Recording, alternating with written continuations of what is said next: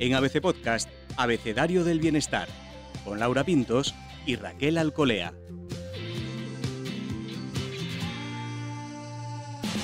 Ser fuertes, independientes, resolutivos, entusiastas, activos, no implica no tener momentos en que las cosas parece que nos superan y necesitamos parar o pedir ayuda. Pero a muchos esto nos cuesta y bastante. No sabemos cómo hacerlo o no queremos molestar a otros, tampoco ser una carga, ni reconocer nuestra debilidad. Sin embargo, es clave, entre otras cosas, para la autoestima y solo nos puede fortalecer aún más. Soy Laura Pintos y en este episodio del podcast Abecedario del Bienestar, Raquel Alcolea y yo hablamos con Ana Belén Medialdea sobre las razones por las que a algunas personas les cuesta, nos cuesta pedir ayuda y cuáles son las consecuencias de nuestros intentos por abarcarlo todo.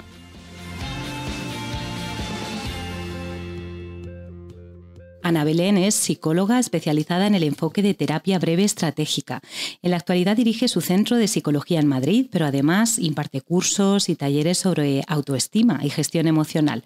Colabora con empresas y con medios de comunicación y divulga sobre psicología en sus redes sociales. Ha escrito los libros Amargarte la vida depende de ti y más recientemente Las cinco estaciones de la autoestima.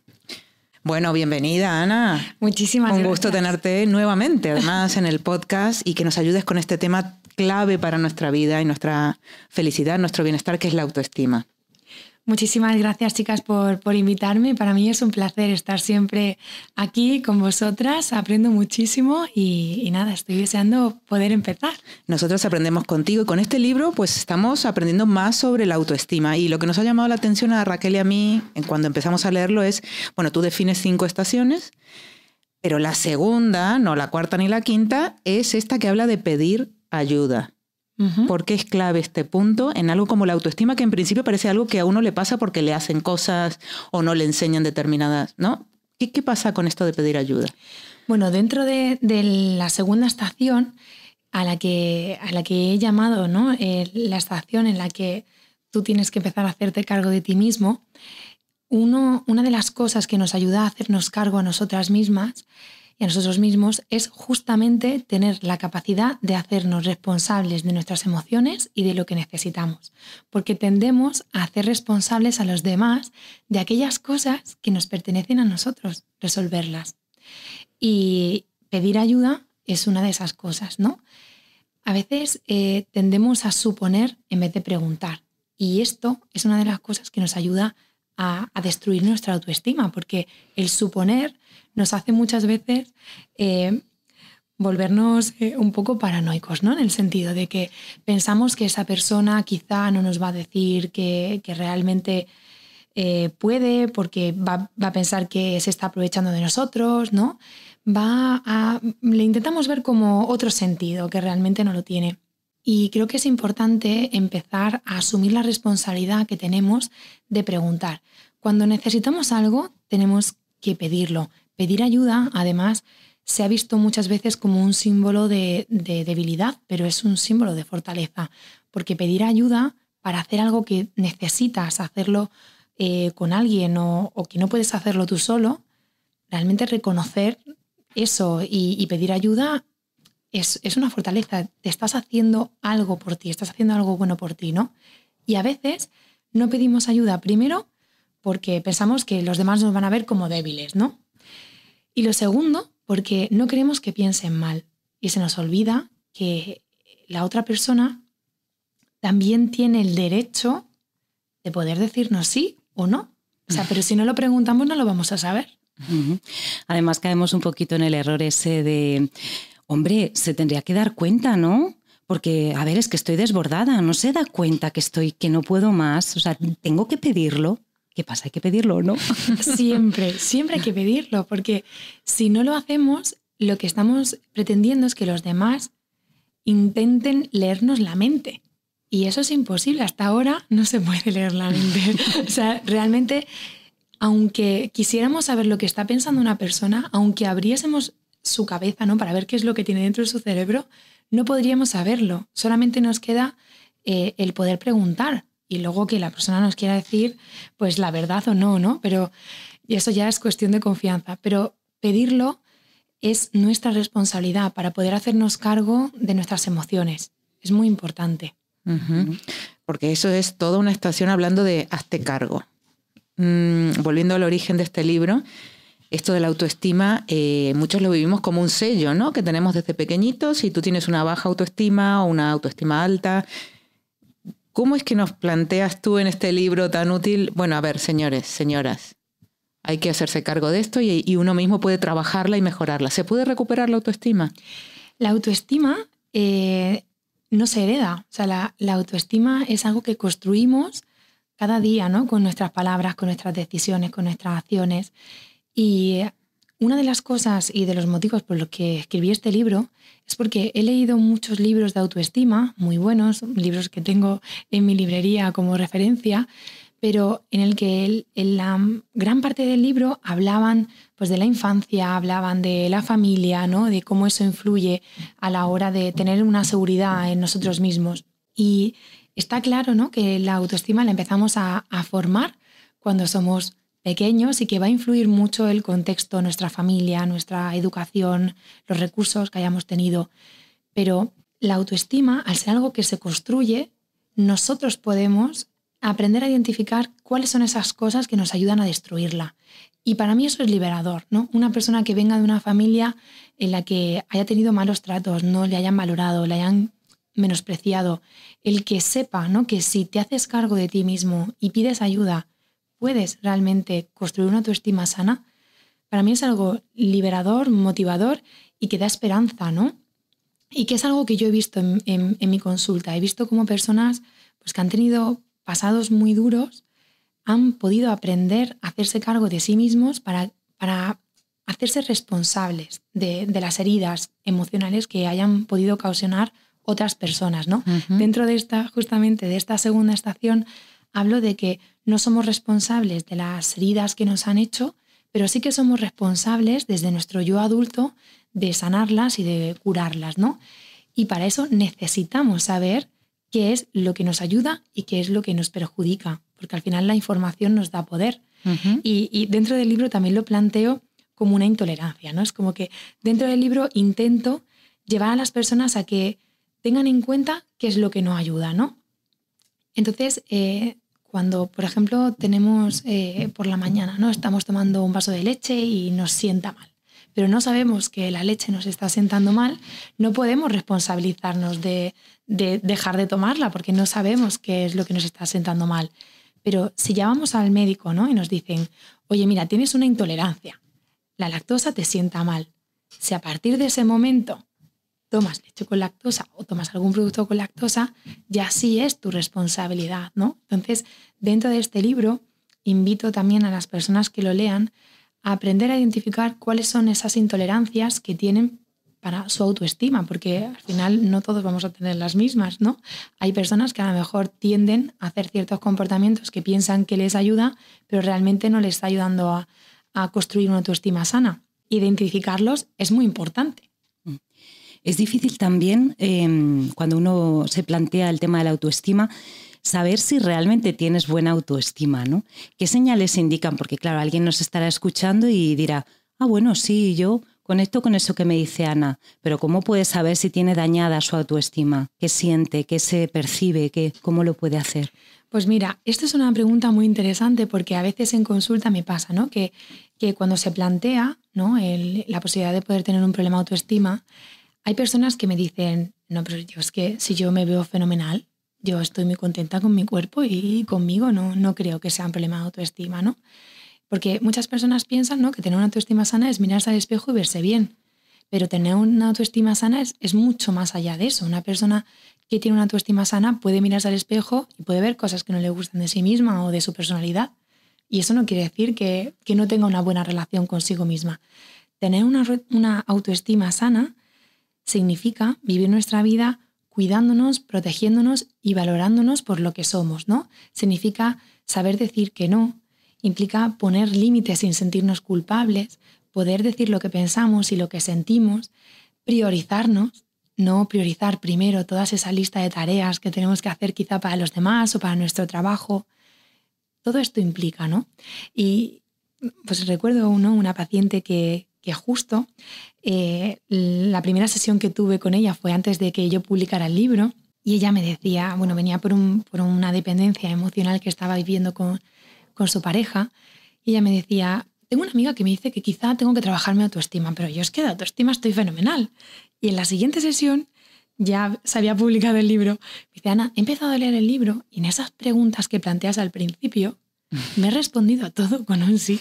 Y me ha dado tanta aversión que he dicho, yo no quiero esto para mí. O sea, tengo que empezar a solucionarlo, ¿no? Porque dentro del libro, pues propongo una serie de preguntas para que las personas puedan reflexionar, ¿no? Pues, por ejemplo, ¿no? Eh, ¿Te cuesta decir lo que piensas y lo que sientes? Eh, ¿Tiendes a priorizar a los demás antes que priorizarte a ti? Cuando alguien te dice, por ejemplo, que hay algo que no le gusta de ti, tiendes eh, rápidamente a intentar cambiarlo para ajustarte a lo que la otra persona pues desea tiendes a pedir ayuda cuando lo necesitas o lo evitas para que no se te vea como una persona débil. Porque cuando tenemos también una autoestima que hay que sanear, muchas veces somos muy autoexigentes. Y cuando somos autoexigentes, ese pedir ayuda lo rechazamos. Tenemos que poder con todo y, poder siempre solas o, solos, ¿no? Y eso, cuando nos pasa, eh, sin darnos cuenta, mm, no percibimos que esto no es un acto de amor, un acto de amor es ser capaz de, pedir lo que necesito y dejarme ayudar por las personas que me quieran ayudar, porque los demás son libres de ayudarnos o no. Y a veces le quitamos esa responsabilidad a los demás sin darles la, oportunidad de que ellos decidan si realmente quieren ayudarnos o si no quieren ayudarnos. Nos hemos quedado. Sí, porque yo pensaba, no, claro, a veces uno no pregunta porque anticipa que si pregunta tampoco lo va a recibir y la decepción es, parece que es más dura, ¿no? O más difícil. Exacto, el miedo al rechazo, mm, el miedo a que me digan que no, muchas veces nos hace quitarnos la oportunidad de intentarlo. Entonces, a veces pensamos, ay, va a pensar que soy una pesada, o quizá piensa que me estoy aprovechando, o quizá va a pensar que no puedo sola. Y entonces, desde ahí es como si desconectamos de nuestra necesidad, ¿no? Y conectamos con la necesidad que pueda tener el otro. y, eso es importante que cuando estemos ante una situación así, nos cuestionemos, ¿yo qué necesito? ¿Y yo qué quiero? O sea, necesito pedirle a esta persona que me ayude en esto. Pues esta es mi necesidad. Voy a intentar, como gesto de amor propio, resolverla. Si la otra persona me dice un no, si es que un no, el no ya lo tenía, no pierdo nada, ¿no? En todo caso, puedo ganar que esa persona me diga, pues mira, no puedo, o mira, hoy no puedo, pero mañana sí. El no asumir esa responsabilidad por parte del otro, porque a veces nos podemos sorprender. Y, es que, perdona, porque es que, me, ha venido a la cabeza, ¿no? Eh, pues eh, otra paciente que justo esta Navidad me decía, estoy muy decepcionada Estoy muy decepcionada con una amiga porque no te vas a creer lo que me ha hecho. ¿Te puedes creer que yo había organizado todo para cenar con ella en la cena de fin de año? Porque claro, la ha dejado su pareja. Estaba sola. Estaba todo el día diciéndome que, que iba a ser de ella esa noche, que por favor hiciéramos un plan diferente. Y ahora yo tenía un planazo con otro grupo de amigos de irnos por ahí y he dicho, ay, pobrecita mi amiga, ¿cómo la voy a dejar sola? Venga, pues voy a cenar con ella. Pues te puedes creer que llega el día de fin de año y me dice la tía, oye, mira, que he conocido a uno en Tinder y que me voy esta noche a cenar con él. Es que estoy súper decepcionada, ¿no? Y yo ahí le pregunté, pero realmente, ¿con quién estás decepcionada? ¿Con tu amiga o contigo? Porque tú has dejado de hacer algo que tú necesitabas porque te has vinculado a la necesidad de tu amiga. Y ahora has visto que tu amiga ha respetado su necesidad y no te ha tenido en cuenta. Entonces, esa decepción es tuya contigo, porque tú has hecho algo que realmente no querías desde un principio hacerlo y, lo has hecho para que la otra persona no estuviese mal, sin tener en cuenta pues que el otro pues a veces puede que no te tenga en cuenta a ti. Claro, ese aprendizaje de priorizarse, ¿no? Porque parece que nos han enseñado, o no sé, al menos no sé si a toda una generación o a más generaciones, que hay que ayudar, que hay que ofrecerse, que hay que tal, que tú en el último lugar. Vaya estas enseñanzas, cómo nos están eh, bloqueando muchas cosas relacionadas con el autocuidado, con la protección y con no somos capaces de decir, bueno, yo primero, parece que esto no está bien visto, yo primero. Sí, es que nos han enseñado ¿no? que primero están los demás y luego eh, estamos nosotros, porque si no es así, es porque somos egoístas. Y si somos egoístas, somos malas personas, ¿no? Es como que eh, se nos olvida em, que tenemos que, cuidarnos y que lo que hacemos tenemos que hacerlo porque realmente nosotros queramos, ¿no? Es verdad que hay un mensaje que, que suena como muy individualista, ¿no? Que primero tengo que ir yo, después yo y tercero yo. Yo no quiero que, bueno, no, no lo quiero ver de ese modo, ¿no? O sea, creo que es importante hacer cosas por los demás siempre y cuando al hacerlo no tengas que hacer un atentado contra tu persona y tus principios. O sea, creo que hay que hacer esfuerzos por los demás, pero no podemos vivir en un esfuerzo por el otro.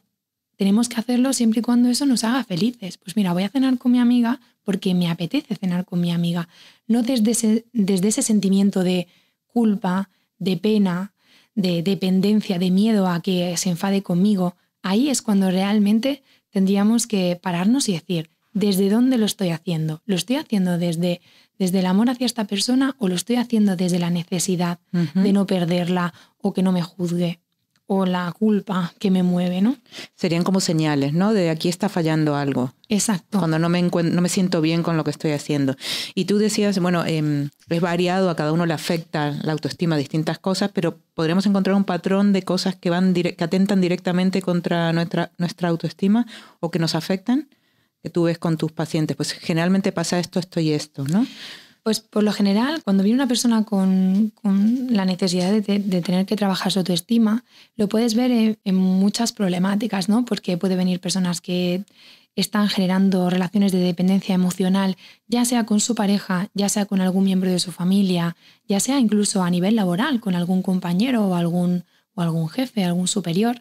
Esto se ve, ¿no? Porque tienen muchísimo miedo a la pérdida tengo miedo a que me abandonen, mm. tengo miedo a que no, no me valoren, tengo miedo a que vean que quizá no soy tan buena como, como pueden creer, ¿no? Porque a veces esa inseguridad nos lleva a pensar que todas las cosas buenas que nos pasan es por suerte, no porque realmente lo valemos, sino porque se han dado unas circunstancias que nos han hecho pues estar ahí en el momento justo, ¿no? Entonces eh, se ve desde ahí, eh, la baja autoestima también nos hace que, por ejemplo, eh, demos más prioridad a aquellas cosas que tienen que ver con lo de fuera que con lo que tenemos que hacer por nosotros mismos, ¿no? Es decir, por ejemplo, si tenemos trabajo acumulado y es domingo, pues me voy a sentir muy mal de verme aquí sentada en el sofá con mis hijos viendo una película, porque claro, tengo que hacer otras cosas que tienen que ver con mi responsabilidad laboral. Entonces, a veces esa autoexigencia nos hace medir nuestro valor en función del reconocimiento laboral que podemos tener. Y si tenemos un superior que no nos reconoce nada, pues ahí entramos en catarsis, porque vamos a estar continuamente viendo a ver qué podemos hacer para que nos valoren. Entonces, por lo general, tener una autoestima sana nos va a ayudar a evitar caer en relaciones de dependencia emocional, a evitar estar en un continuo estrés, porque al final el estrés también desemboca en una ansiedad y eso pues, tiene muchas consecuencias ¿no? para, para nuestro organismo. Nos va a ayudar también a tener relaciones sanas con los demás, pero lo más importante es que nos va a ayudar a tener una relación sana con nosotros mismos, porque a veces nos desconectamos absolutamente para conectarnos con las necesidades del otro o con lo que el otro espera y me olvido de lo que yo necesito para mí. Bueno, Hablando de reconocimiento, me ha venido un poquito a, la cabeza con el tema de las opiniones, ¿verdad? Esto, esto que a veces se necesita, lo observas en otras personas, incluso en ti mismo, ¿no? Eh, según eh, cómo te encuentres de segura con qué tema, pues constante opinión. ¿Qué te parece? ¿Y qué opinas? Y, tal. Y todo esto en la cabeza, ¿qué efecto tiene? Tanto tanta pedir opinión. Pues mira, pedir opinión, por un lado, es como que cuando pedimos la opinión y nos dicen lo que tenemos que hacer, en ese primer momento, cuando tenemos una inseguridad, decimos, ay, qué bien, ¿no? Ya me han dicho que es lo que, es mejor, pues venga, pues voy a hacer lo que me dicen. Pero esto es un autoengaño, porque claro, mientras que yo pido esa, esa información y actúo en función de lo que me dicen, es como si yo me fuera quitando poquito a poco capacidad para yo tomar una decisión por mí misma. Pero tenemos que tener mucho cuidado, ¿no? Porque recuerdo una paciente que me decía, pero es que Ana, yo no tomo decisiones, es que los demás toman decisiones por mí, ¿no? Y ahí yo le dije, ¿realmente tú crees que es así? Porque cuando no decidimos, también estamos decidiendo. Es decir, si yo le pido opinión, pues por ejemplo, a mi pareja, y mi pareja me dice lo que tengo que hacer y yo lo hago, yo estoy decidiendo no tomar mi propia decisión para decidir lo que me están diciendo. Por lo cual sí que tomo decisiones. Solo que esto nos puede servir como autoengaño para delegar la responsabilidad, ¿no? Por ejemplo, una situación en la que le pido a mi pareja que decida por mí y ahora me sale mal y entonces digo, claro, es que como hice lo que tú me dijiste que hiciera, pues mira, me ha ido mal. Y la culpa, pues para el otro. Pero realmente, ¿quién tiene que asumir esa responsabilidad? Somos nosotros, porque al final es nuestra vida. Todo esto que estamos hablando, mm, has mencionado eh, varias veces hay que decirlo, hay que manifestarlo. O sea, lo que uno piensa, lo que imagina, lo que espera. Todo esto es una, un poco una fantasía o algo que no es real y tú tienes que decir al otro, quiero esto, a mí me gusta esto. ¿Cómo? ¿Cómo se hace, Ana? Cuando no estás acostumbrado a hablar, a explicar, ¿por dónde empezar? ¿Tienes algún truco, alguna herramienta para que podamos plantarnos delante de esa pareja o de ese superior o de ese padre o de ese hermano y decirle, mira, es que... Pues mira, yo creo que parte, lo primero que tenemos que tener en cuenta es cómo yo me siento ante esa persona, porque ya nuestro cuerpo nos da señales, ¿no? Nos da señales porque cuando, por ejemplo, vemos a una persona que nos está pareciendo invasiva o nos estamos sintiendo como muy culpables por decirle algo que sabemos que no le va a gustar, es que nuestro cuerpo se retuerce, ¿no? Nuestra barriga se retuerce y lo notas porque no sabes cómo empezar esa conversación y tienes miedo a veces a la reacción de la otra persona. Mm.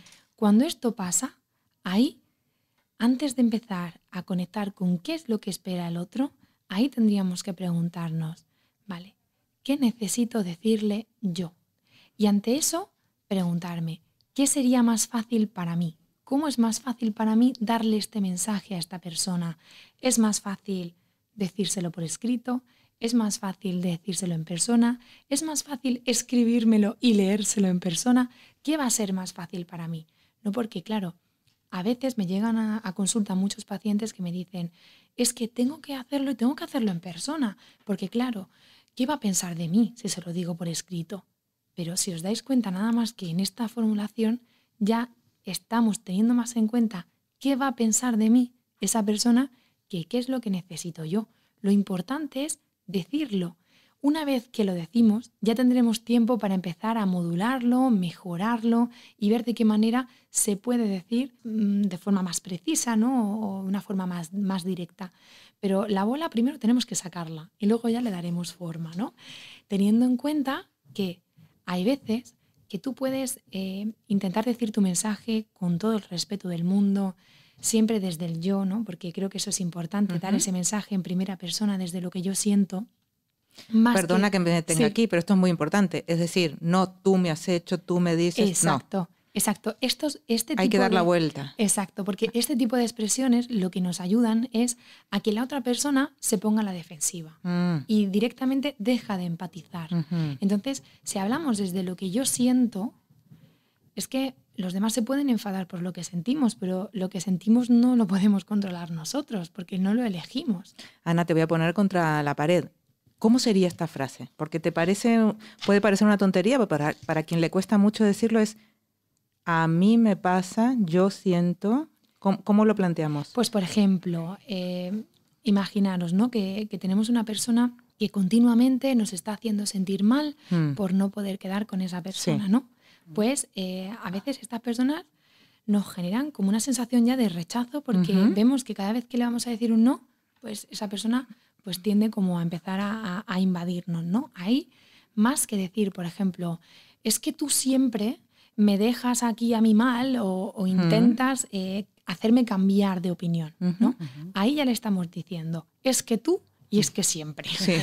Entonces ya ahí estamos, pues bueno, esto lo solemos hacer cuando estamos ya agotados, agobiados y eh, explotamos, ¿no? Con esa persona. Entonces, es mejor que cambiemos ese mensaje, pues, en vez de decir es que tú, pues yo. Yo me siento, pues por ejemplo, un poco agobiada cuando veo pues que continuamente Eh, que si no puedo quedar eh, contigo... exacto, que cuando, por ejemplo, no, no puedo quedar contigo, pues tú te pones triste, ¿no? O sea, y empiezas a escribir. O sea, Mm. cómo yo me siento. Me siento así, de determinada manera, cuando tú sueles hacer esto, ¿no?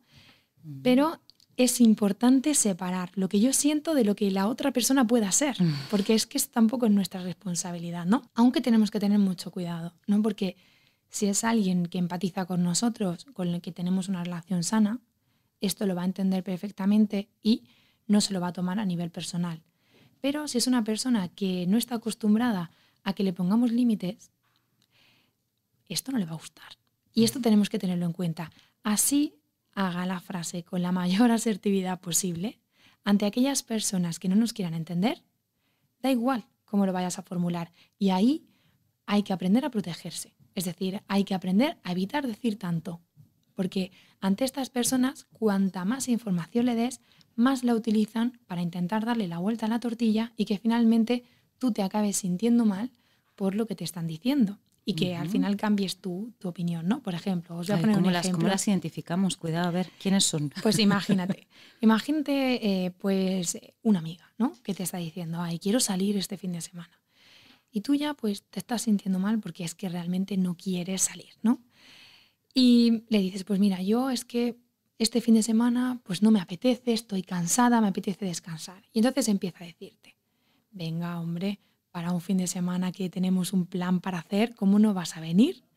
Venga, porfa, anda, anímate, que va a ser solamente un rato. Y entonces empieza, empiezas a decirle, no, pues no, mira, es que prefiero descansar porque además luego el domingo tengo que ir a este sitio porque es importante que vaya descansada y, y voy a invertir mucha energía, ¿no? Voy a estar bastante cansada.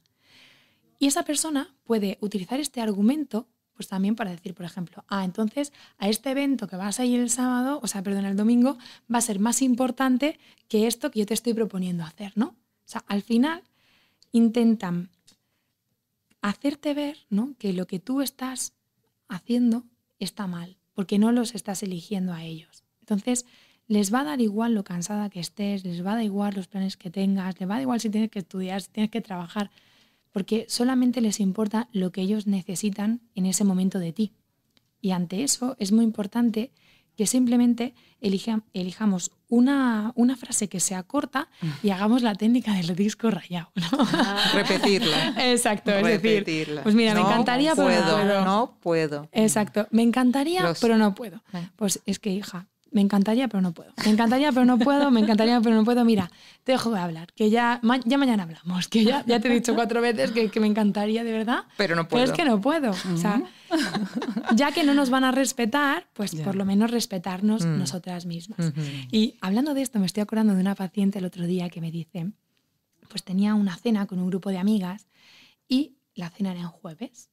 Y claro, ella pues no le apetecía ir a la cena de jueves porque además le había dicho siempre a sus amigas que por favor pusieran las cenas de amigas otro día porque ella los jueves llega muy cansada y el viernes es el día que más temprano se tiene que levantar. Entonces a ella le apetece pues llegar, estar con sus hijas y estar pues en un modo más tranquilo y no tener que venir hasta Madrid a cenar.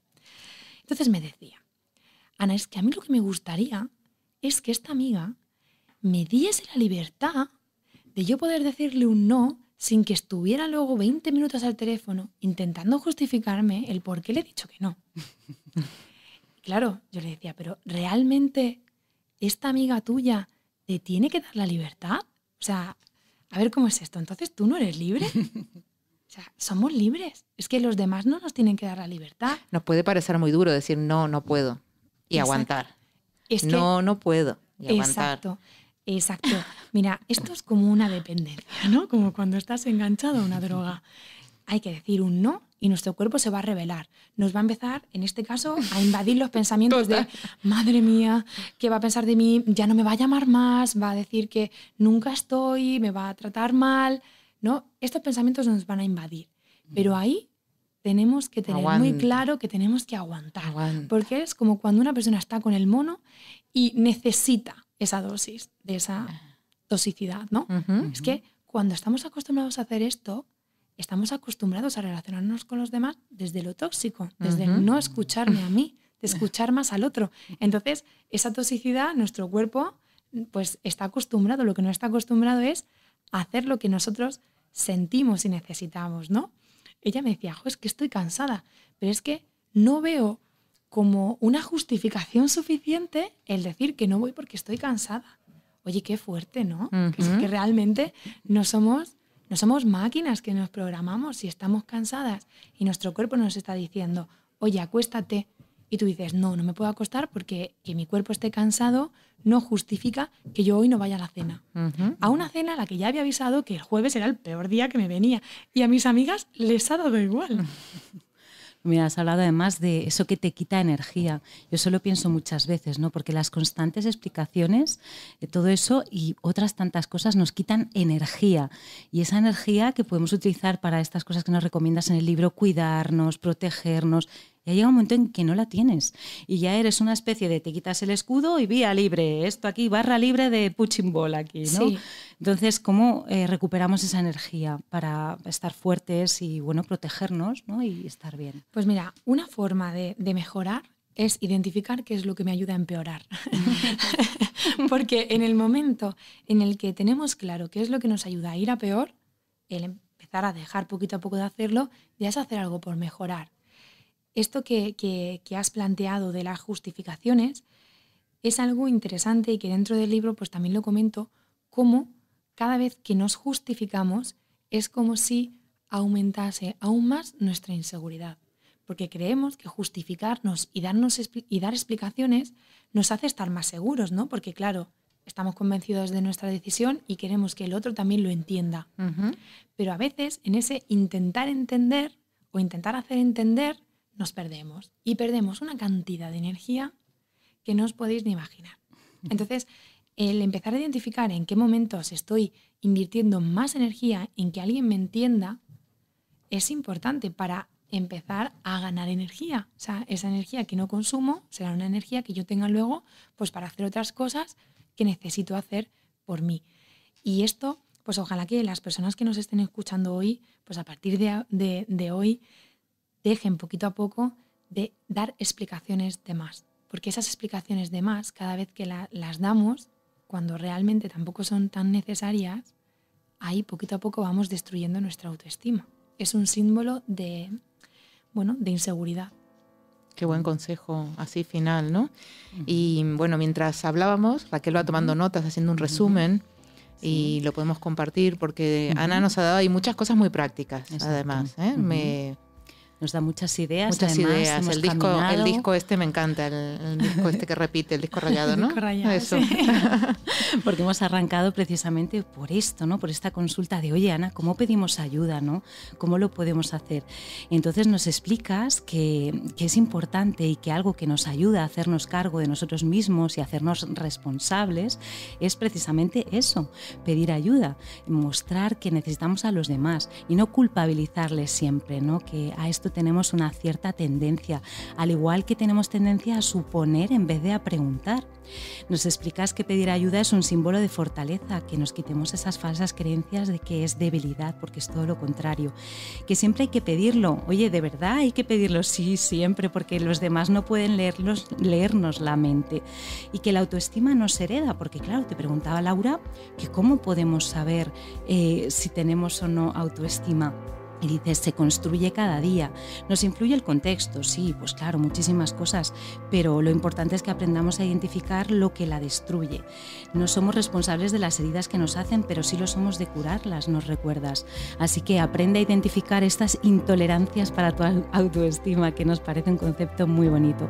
Tener una autoestima sana significa vivir nuestra vida cuidándonos, protegiéndonos, poniendo límites.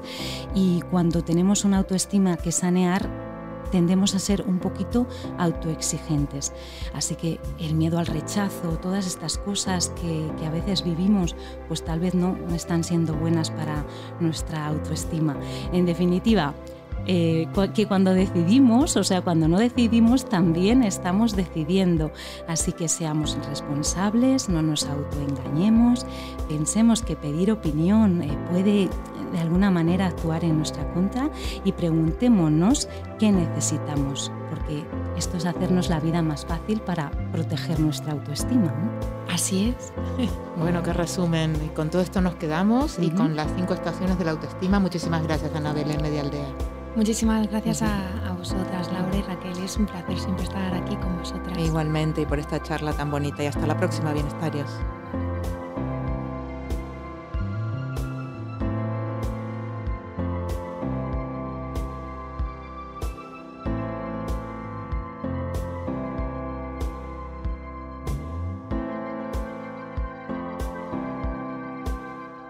Puedes escuchar todos los episodios del Abecedario del Bienestar en abc.es, iBox, Wanda, Spotify, Apple Podcast y Google Podcast. Y no te olvides de seguirnos en las redes sociales. ABC-Bienestar.